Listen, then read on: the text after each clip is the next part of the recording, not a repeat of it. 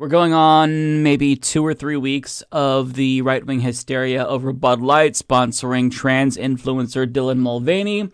And Trump Jr. found out that Bud Light, despite how woke they've gone, uh, they are a very prolific fundraiser, or I should say, donor to the Republican Party. And he's like, uh, maybe we shouldn't boycott them if they're giving us a lot of money and supporting Republican causes.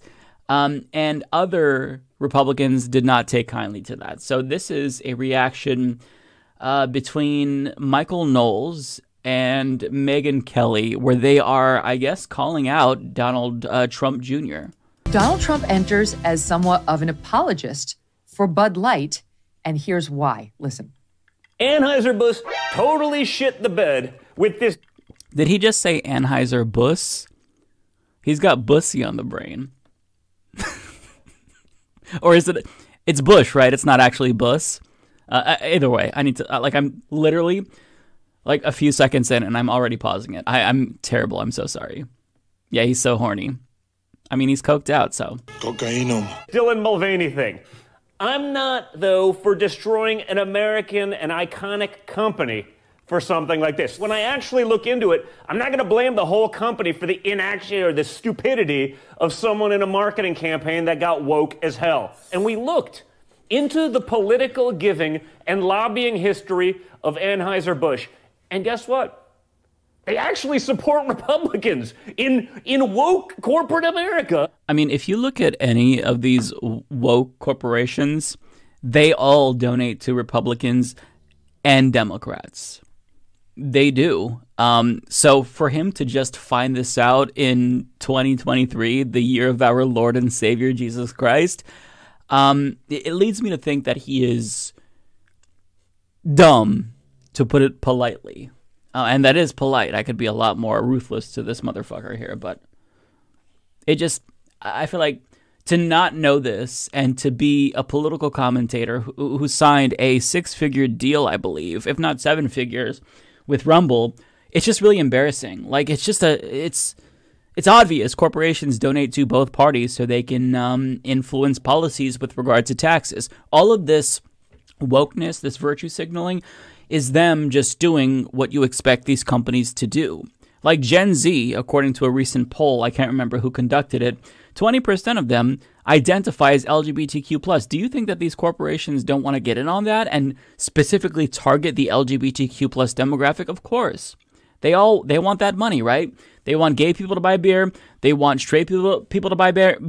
They want Antifa to buy beer. They want Nazis to buy beer. They care about money, okay? So that's why they're going to be as broad as possible when marketing. But yes, they donate to Republicans and Democrats so as to have the largest effect politically. But I digress.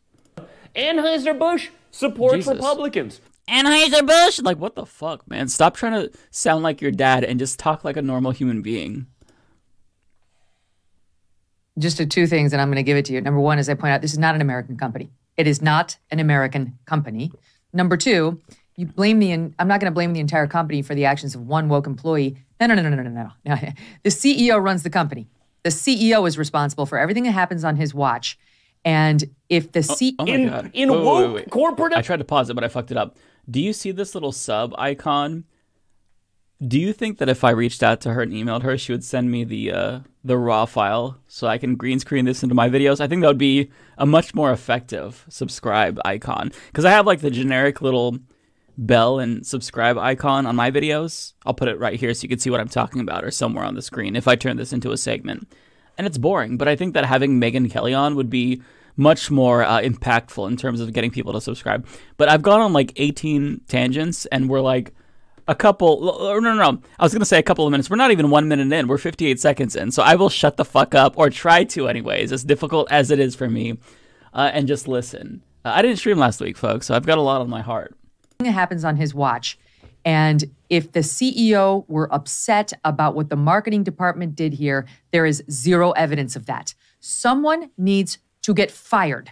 At a minimum, if you're not going to issue the apologetic, groveling email to your fan base, at least fire somebody so they get that you understand they're upset. Go ahead. Fire someone because they created a brand deal with an influencer? That's a little bit extreme, don't you think?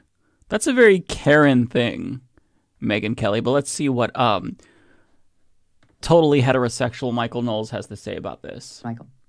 I don't know if, if Don is trying to play a little good cop to the rest of our bad cop here and, and try to keep those Republican donations from Bud Light coming on in, especially obviously as his father is running for president again. But the, the timing is really unfortunate here because whenever Don made that statement, at the very least, shortly thereafter, or at the very most, rather, shortly thereafter, the CEO makes the statement in which he acknowledges and doesn't quite apologize, but recognizes that it's politically divisive. And it's just really, really weak. So I, I agree with you. Now it's not enough for the VP of marketing to get fired.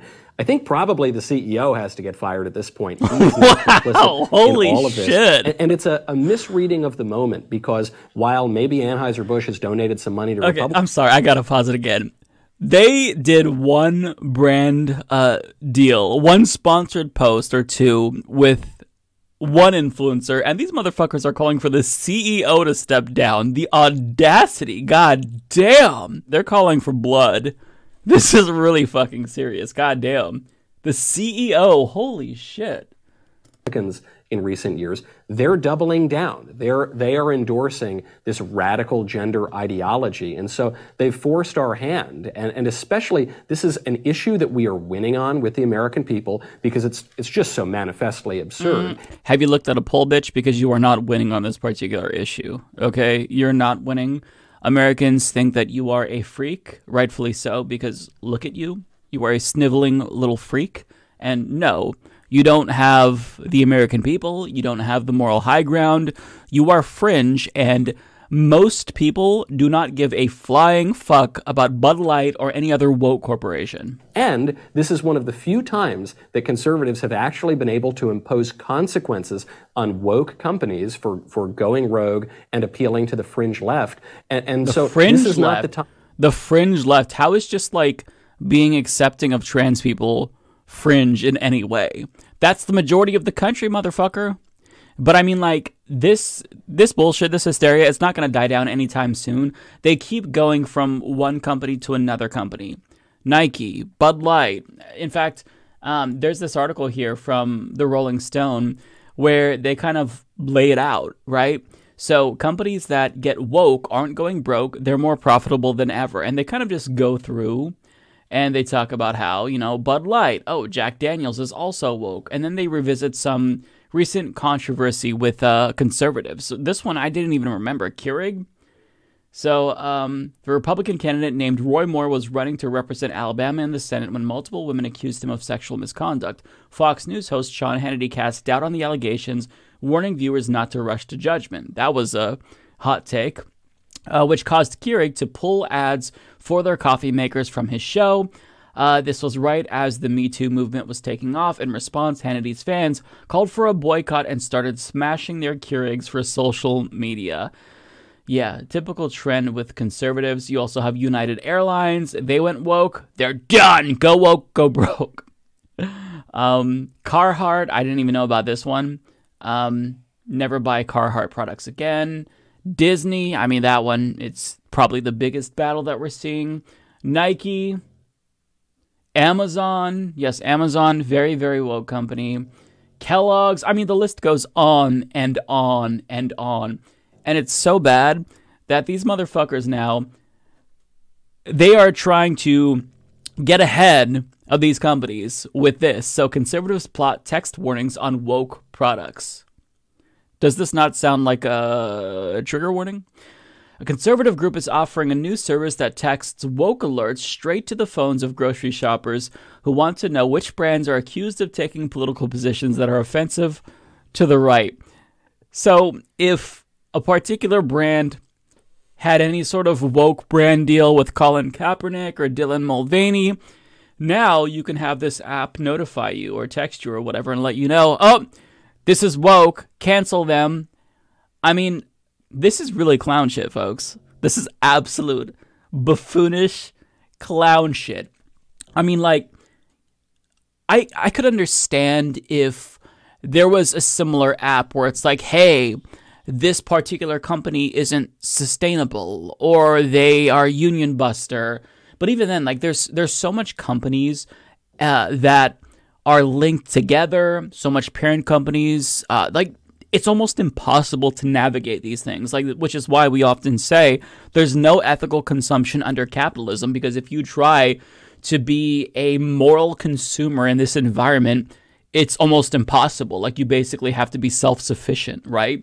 So i don't know what else to say about this. Um, you know bud light is just one chapter in a very long book of corporations supposedly going woke and subsequently getting canceled by conservatives, but this is not going to stop. But what I will say is that I, for one, am exhausted by the woke nonsense. Um, it was amusing at first, it was funny to laugh at them, but now it's just like, let's move on. I, like who gives a shit at this point? I, am I'm, I'm even talking about it. I feel like um, I, I just couldn't care less, and I think that most of you are on the same page.